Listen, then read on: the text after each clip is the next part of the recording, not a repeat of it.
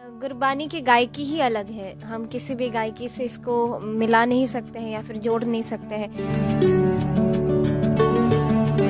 मैं सुनती थी भाई जी का, सुनती थी भाई हरजिंदर सिंह जी का। और उन्हीं को सुनते सुनते सुनते सुनते आज भी मैंने जो कुछ गाया, मैंने उन्हीं को जो सुन के सीखा है, वही सभी को सुनाया। तेग बहादुर सिमरिए, ये शब्द जो काफ़ी लोग गाते हैं तो मैंने गाया। कल लावेंगे। कब गल लावेंगे? कब गल लावेंगे? कब गल लावेंगे? हाँ तुमरी करो नित आस। प्रभ मोहे कब गल लावेंगे? हाँ तुमरी करो नित आस प्रभ मोहे कब गल लावेंगे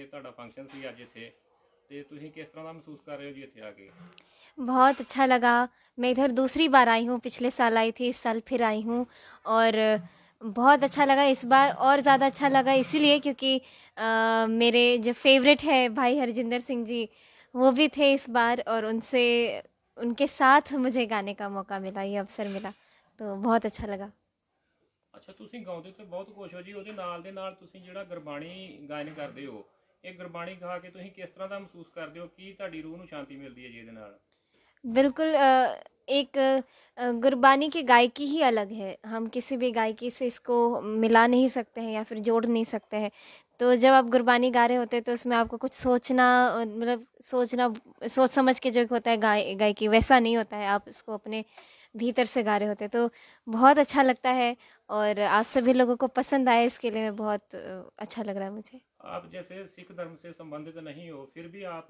जो गुरबाणी का गायन करते हो ये रुचि कैसे आपके मन में आई मैं सुनती थी भाई जी का सुनती थी भाई हरजिंदर सिंह जी का और उन्हीं को सुनते सुनते सुनते सुनते आज भी मैंने जो कुछ गाया मैंने उन्हीं को जो सुन के सीखा है वही सभी को सुनाया और वो भी साथ में गाए और उनके साथ गाने का मौका मिला इसी तरीके से मुझे इंटरेस्ट आया गाने में ਤੋ ਗੁਰਬਾਣੀ ਗਾਉਣ ਦੇ ਨਾਲ ਹੋਰ ਕੀ ਕੀ ਤੁਸੀਂ ਕਿਸ ਤਰ੍ਹਾਂ ਦਾ ਗਾਉਂਦੇ ਹੋ मैं मेरा ताल्लुकात है बिहार से।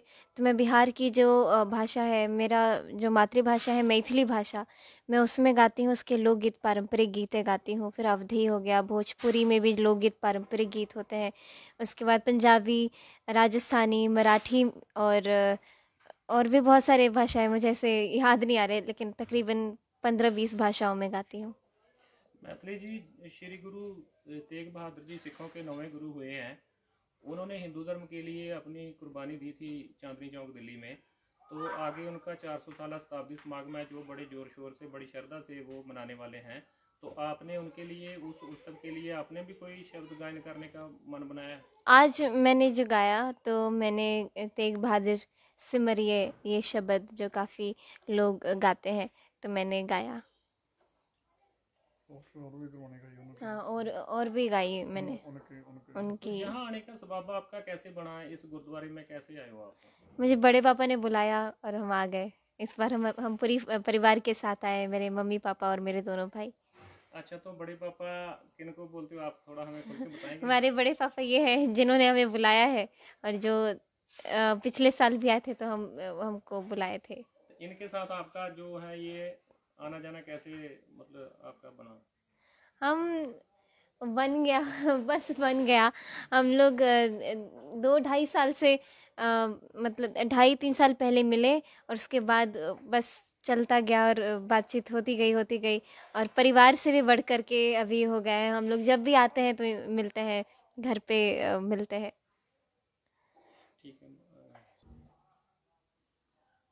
ਬਾਬਾ ਜੀ, ਮੈਥਲੀ ਠਾਕੁਰ ਜਿਹੜੇ ਆ ਜੀ, ਇਹਨਾਂ ਦਾ ਅੱਜ ਉਮਰ ਤੇ ਭਾਵੇਂ ਬਹੁਤ ਛੋਟੀ ਆ, ਪਰ ਨਾਂ ਇਹਨਾਂ ਦਾ ਬਹੁਤ ਵੱਡਾ ਬਣ ਗਿਆ ਜੀ। ਤੇ ਇਹਨਾਂ ਦੇ ਨਾਲ ਕਿਸ ਤਰ੍ਹਾਂ ਤੁਹਾਡਾ ਜਿਹੜਾ ਮਤਲਬ ਤਾਲੁਕਾਤ ਬਣਿਆ ਜੀ? ਦੇਖੋ ਜੀ, ਤੁਹਾਡਾ ਪਹਿਲਾ ਸਵਾਲ ਹੈ ਕਿ ਉਹਨਾਂ ਦਾ ਨਾਮ ਬੜਾ ਵੱਡਾ ਬਣ ਗਿਆ। ਨਾਮ ਬਣਦਾ ਗੁਨਾਹ ਕਰਕੇ ਜੀ। ਕਿਉਂਕਿ ਉਮਰ ਕਰਕੇ ਕਈ ਵਾਰ ਲੋਕ ਵੱਡੀ ਰੀ ਉਮਰ ਵਿੱਚ ਵੀ ਜਾ ਕੇ ਨਿਆਣੇ ਰਹਿ ਜਾਂਦੇ ਹਨ ਤੇ ਕਈ ਵਾਰ ਛੋਟੀ ਉਮਰ ਵਿੱਚ ਹੀ ਲੋਕ ਬਹੁਤ ਵੱਡੀਆਂ ਮੱਲਾਂ ਮਾਰ ਜਾਂਦੇ ਹਨ। ਜਿਹੜੇ ਗੁਣ ਹਨ, ਇਹੀ ਮਨੁੱਖ ਦਾ ਕਿਰਦਾਰ ਹਨ ਤੇ ਇਹੀ ਮਨੁੱਖ ਨੂੰ ਉੱਪਰ ਤੇ ਥੱਲੇ ਇਹੀ ਲਿਆਉਂਦੇ ਹਨ। ਤੇ ਉਹਦੇ ਵਿੱਚ ਗੁਣ ਬਹੁਤ ਹਨ, ਬੇਟੀ ਵਿੱਚ ਪਰਮਾਸ਼ ਪਰਮੇਸ਼ਰ ਨੇ ਗੁਣ ਦਿੱਤੇ ਹਨ, ਉਹਦਾ ਗਲਾ ਹੈ, ਉਹਦੇ ਕੋਲ ਬਹੁਤ ਵੱਡੀ ਇੱਕ ਗਲੇ ਦੇ ਵਿੱਚ ਇੱਕ ਕਲਾ ਹੈ, ਜਿਹਦੇ ਕਰਕੇ ਇੰਡੀਆ ਦੇ ਵਿੱਚ ਰਾਈਜ਼ਿੰਗ ਸਟਾਰ ਬਣੀ। ਤਾਂ ਸਾਡੇ ਨਾਲ ਗੱਲ ਇਸ ਤਰ੍ਹਾਂ ਹੋਈ ਕਿ ਅਸੀਂ ਇਹ 21ਵਾਂ ਕੀਰਤਨ ਦਰਬਾਰ ਗੁਰਦੁਆਰਾ ਦਸ਼ਮੇਸ਼ ਦਰਬਾਰ ਸਾਹਿਬ, ਜਿੱਥੇ ਤੁਸੀਂ ਬੈਠੇ ਹੋ, ਇਸ ਵਕਤ ਪਿੰਡ ਕਰਨਾਮਾ ਪੀਰੋਵਾਲੀ ਵਾਲੀ ਤਹਿਸੀਲ ਬਟਾਲੇ ਵਿੱਚ ਪੈਂਦਾ ਜ਼ਿਲ੍ਹਾ ਗੁਰਦਾਸਪੁਰ ਹੈ। ਤੇ ਅਸੀਂ ਫੇਸਬੁੱਕ ਤੋਂ ਕੱਢ ਕੇ ਦੇਖਦੇ ਸੀਗੇ ਕਿ ਕੌਣ-ਕੌਣ ਸਿੱਖ ਧਰਮ ਨੂੰ ਗਾ ਰਿਹਾ ਹੈ। ਤੇ ਅਸੀਂ ਦੇਖਿਆ YouTube ਚੈਨਲ ਤੋਂ ਅਮ, ਕੁਝ ਸਮਾਂ ਪਹਿਲਾਂ ਕੁਝ ਸਾਲ ਪਹਿਲਾਂ ਤੇ ਉਹਦੇ ਵਿੱਚ ਇਸ ਬੇਟੀ ਦੇ ਕਾਫੀ ਸ਼ਬਦ ਗਾਇਨ ਕੀਤੇ ਹੋਏ ਸਨ। ਭਾਈ ਹਰਜਿੰਦਰ ਸਿੰਘ ਜੀ ਸ਼੍ਰੀਨਗਰ ਵਾਲੇ ਮੇਰੇ ਬੜੇ ਕਰੀਬੀ ਹਨ ਮੇਰੇ ਦਿਲ ਦੇ ਕਰੀਬੀ ਹਨ ਉਹ ਮੇਰੇ ਸਕੇ ਭਰਾਵਾਂ ਵਰਗੇ ਹਨ। ਤੇ ਸਾਡੇ ਪਰਿਵਾਰਕ ਸੰਬੰਧ ਹਨ ਉਹਨਾਂ ਨਾਲ ਬਹੁਤ ਜ਼ਿਆਦਾ। ਤੇ ਇਹਨਾਂ ਨੇ ਬੇਟੀ ਨੇ ਉਹਨਾਂ ਨੂੰ ਗਾਇਆ, ਉਹਨਾਂ ਦੀ ਮਤਲਬ ਉਹਨਾਂ ਨੂੰ ਨਹੀਂ ਗੁਰ- ਗਾਈ ਤਾਂ ਗੁਰਬਾਣੀ ਉਹਨਾਂ ਦੀ ਲੈ ਨੂੰ ਗਾਇਆ। ਸਾਨੂੰ ਹੋਰ ਵੀ ਜ਼ਿਆਦਾ ਅੱਛਾ ਲੱਗਾ, ਫਿਰ ਅਸੀਂ ਇਹਨਾਂ ਤੱਕ ਪਹੁੰਚ ਕੀਤੀ। ਪਿਛਲੇ ਸਾਲ ਇਹਨਾਂ ਨੂੰ ਇਹਨਾਂ ਕੋਈ ਘਰ ਗਏ, ਉੱਥੇ ਇਸ ਇਸ ਤਰ੍ਹਾਂ ਗੱਲਾਂ ਬਾਤਾਂ ਹੋਈਆਂ। ਅਸਲ ਜਰੀਆ ਤੇ ਸ਼ਬਦ ਹੈ ਜੀ, ਗੁਰੂ ਸ਼ਬਦ। ਸਤਿਗੁਰੂ, ਗੁਰੂ ਗ੍ਰੰਥ ਸਾਹਿਬ ਜੀ ਦਾ ਸ਼ਬਦ ਅਸਲ ਜਰੀਆ ਹੈ, ਕਿਉਂਕਿ ਸਾਡਾ ਧਰਮ ਇੰਨਾ ਅੱਛਾ ਹੈ, ਗੁਰੂ ਸਾਹਿਬ ਨੇ ਇੰਨੀ ਕਿਰਪਾ ਕੀਤੀ ਹੈ ਕਿ ਅਸੀਂ ਵਾਕਈ ਰੀਲੀ ਇੰਨਾ ਪਿਆਰ ਗੁਰੂ ਸਾਹਿਬ ਦੀ ਕਿਰਪਾ ਨਾਲ ਵੰਡਦੇ ਹਾਂ। ਸਾਨੂੰ ਸਾਰੇ ਹੀ ਜਿਹੜੇ ਉਹ ਆਪਣੇ ਦਿਸਦੇ ਹਨ, ਸਭੇ ਸਾਂਝੀ ਵਾਲ ਸਦਾਇਨ ਕਿਸੇ ਨਾ, ਕੋਈ ਨਾ ਦੱਸੇ ਬਾਹਰਾ ਜੀਓ। ਤੇ ਫਿਰ ਪਰਾਈ ਬੇਟੀ ਨੂੰ ਬੇਟੀ ਆਪਣੀ ਮੰਨਣਾ, ਇਹ ਗੁਰੂ ਸਾਹਿਬ ਜੀ ਸਾਡੀ ਸਿੱਖਿਆ ਹੈ। ਸਿੱਖਾਂ ਦਾ ਸਭ ਤੋਂ ਮੁੱਢਲਾ ਫਰਜ਼ ਹੈ। ਕਿਸੇ ਨੂੰ ਅਪਣਾ ਲੈਣਾ ਬੇਟੀ ਦੇ ਤੌਰ ਤੇ, ਕਿਸੇ ਨੂੰ ਹੁਣ ਮੇਰਾ ਪਿੱਛੇ ਬੇਟਾ ਬੈਠਾ ਹੈ, ਉਸ ਨੂੰ ਇਹ ਬਈਆ ਤੇ ਉਹ ਇਹਦੀ ਭਾਬੀ ਹੈ। ਸਾਰਾ ਪਰਿਵਾਰ ਅਸੀਂ ਇੱਕ ਹਾਂ ਜੀ। ਤੇ ਵਿਚਕਾਰ ਜਿਹੜਾ ਦਰੀਆ ਤੁਸੀਂ ਪੁੱਛ ਰਹੇ ਹੋ, ਉਹ ਸਾਰਾ ਗੁਰੂ ਦਾ ਸ਼ਬਦ ਹੈ। ਤੇ ਧੰਨ ਗੁਰੂ ਗ੍ਰੰਥ ਸਾਹਿਬ ਦੀ ਗੁਰਬਾਣੀ ਗਾਇਨ ਕਰਕੇ ਹੀ ਸਾਰਾ ਕੁਝ ਹੋਇਆ ਜੀ। ਇਹਨਾਂ ਨੇ ਗੁਰਬਾਣੀ ਗਾਈ ਸਾਨੂੰ ਬਹੁਤ ਅੱਛੀ ਲੱਗੀ ਸੀ ਨਾ ਰਿਸ਼ਤਾ ਪਿਓ ਧੀ ਵਾਲਾ ਸਾਰੇ ਪਰਿਵਾਰ ਵਾਲਾ ਇੱਕ ਬਣ ਗਿਆ ਜੀ कब गल लावेंगे कब गल लावेंगे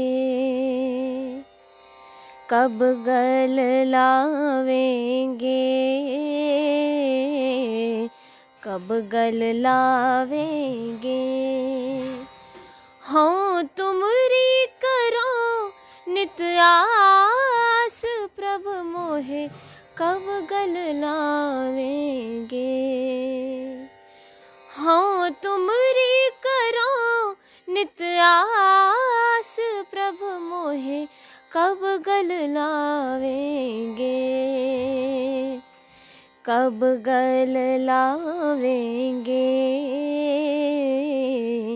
कब गल लावेंगे कब गल लावेंगे कब गल ਲਾਵੇਂਗੇ ਅੱਛਾ ਜੀ ਤੁਸੀਂ ਸਾਨੂੰ ਆਪਣੇ ਕੋਈ ਰਿਲੀਜਨ ਦਾ ਉਧਰ ਦਾ ਕੋਈ ਹੋਰ ਅਹ, ਵੀ ਦੋ ਬੋਲ ਸੁਣਾਓਗੇ ਜੀ जी।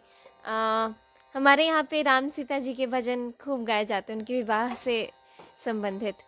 हम्म, तो आ, जो भी मैं गाने वाली हूँ तो उसमें ऐसा होता है जब राम जी विवाह करके आते हैं तो एक विध होता है जिसमें उनको गालियाँ देती हैं उनकी जो साली होती है साली सरोज तो वो आपको राम जी से पूछे राम जी से पूछे जनकपुर के नारी बता द बबुआ।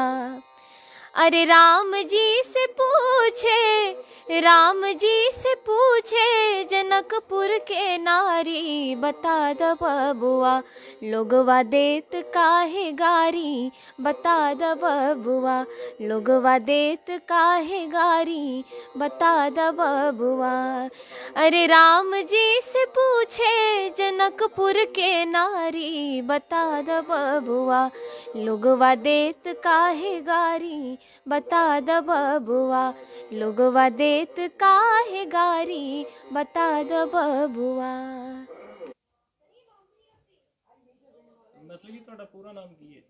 मेरा नाम मैथिली ठाकुर है घर में सब तनु बुलाते हैं। तो की क्वालिफिकेशन की है मैं ग्रेजुएशन कर रही हूँ सेकेंड ईयर में हूँ अभी। मेरे पिताजी म्यूज़िक टीचर हैं तो मुझे बचपन से ही उनसे सीखने को मिला। ਤੇ ਹੁਣ ਕਿੱਥੋਂ ਅੱਗੇ ਕੀ ਕੀ ਕਰਨ ਦੀ ਅ, ਸਮਝਦੇ ਹੋ ਤੁਸੀਂ ਕੀ ਕਰੋਗੇ मैं बिल्कुल लगी रहूँगी जो भी कर रही हूँ उसमें और निखार लाने की कोशिश करूँगी अभ्यास करती रहूँगी तो अभी तक आपने कितने वो शब्द या कितने वो सॉन्ग जो आपने गाए होंगे अ, मैंने सोशल मीडिया पर पब्लिश किया है करीबन बारह पंद्रह के करीब और लेकिन मैं सीख रही हूँ अभी